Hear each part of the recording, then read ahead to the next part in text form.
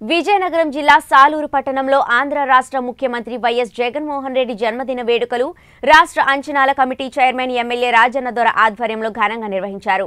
ముందుగా ఆయన దివంగత నేత ముఖ్యమంత్రి డాక్టర్ వైఎస్ రాజశేఖర రెడ్డి విగ్రహానికి పూలమాల వేసి నివాళులర్పించారు. అనంతరం కార్యకర్తల మధ్య కేక్ కట్ చేసి happy birthday YS Jaganmohan Reddy అంటూ ఒకరికొకరు మిఠాయిలు తినిపిస్తూ బర్త్డే విషెస్ తెలియపరిచారు. అంతేకాకుండా స్థానిక వేలంపేట కళ్యాణ మండపంలో నియోజకవర్గ తాయి రక్తదాన శిబిరాన్ని ఎమ్మెల్యే రాజన్న దొర రిబ్బన్ కట్ చేసి ప్రారంభించారు. రక్తదాన శిబిరంలో నియోజకవర్గ నలుమూలల నుంచి అధిక సంఖ్యలో కార్యకర్తలు అభిమానులు రక్తదాన శిబిరంలో పాల్గొనడంతో సచివాలయ సిబ్బందితో పాటు రెండు వందల మంది స్వచ్ఛందంగా రక్తదానం చేయడం జరిగింది.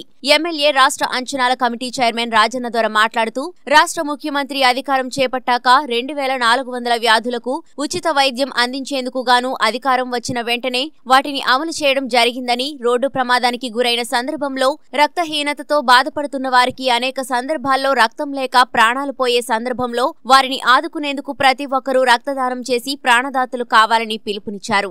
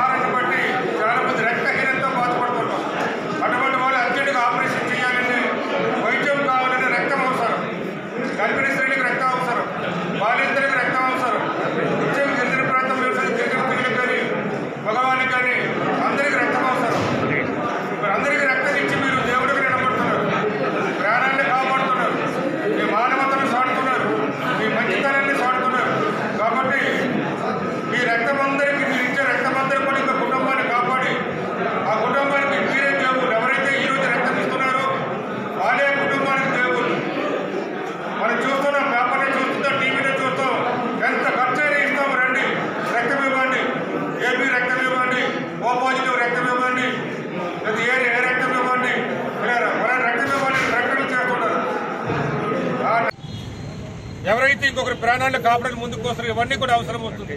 కాబట్టి అదే ఎక్కువగా జగన్మోహన్ రెడ్డి కోరుకుంటుంది అదే. నాకు మీరు ఏమీ చేయక్కర్లేదు మీ నియోజకవర్గంలో రక్తదాన శిబిరం నిర్వహించండి. ఎంతమంది వస్తే అంతమంది నిర్వహించండి. దానివల్ల ప్రజలకు ఉపయోగపడుతుంది అనేది. ఆ విధంగా జగన్మోహన్ రెడ్డి గారు ఆదుకోవడం నిర్భాగులను ఆదుకోవడం కాస్త బట్టలు ఇచ్చి కానీ వారికి ఆ పూట భోజనం పెట్టి కానీ పళ్ళు ఇచ్చి కానీ పాలు ఇచ్చి కానీ అన్ని ఇచ్చిన పర్వాలేదు కనీసం ఏదైనా ఇచ్చి ఆదుకోండి. ఆ విధంగా మీరు నాకు పుట్టినరోజు కార్యక్రమం చేయాలి తప్ప ఆడంబరాలు అట్టహాసాలు వద్దు. ప్రతిసారి ఆడంబరాలు చేస్తున్నారు అట్టహాసాలు చేస్తున్నారు. మేము భారీ ర్యాలీ చేయాలని అనుకున్నాం. మొన్న చేద్దాం అనుకున్న నాయకుడిగా ప్రపంచమంతా ఆయన కీర్తిస్తుందని ఆలోచించాం. కానీ పార్టీ ఇచ్చిన ఆదేశాల ప్రకారం గౌరవ ముఖ్యమంత్రి యొక్క ఆశయాలు లక్ష్యాల ప్రకారం అన్ని మేము మారుకున్నాం.